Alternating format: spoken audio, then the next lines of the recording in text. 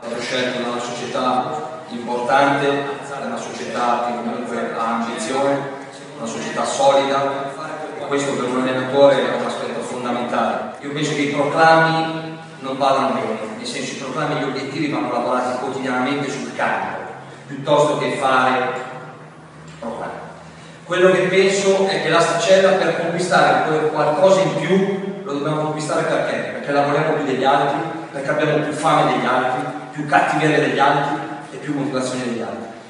Io non sono uno di quegli allenatori che arriva in una società e porta la lista della spesa, perché penso che non sia rispettoso né per chi lavora in questa società né nei giocatori che ne hanno fatto parte. Di sicuro con la società ci siamo già seduti ed è un lavoro in divenire, parleremo per avere comunque dei giocatori funzionali alla società e al mio progetto, che in primis sono uomini.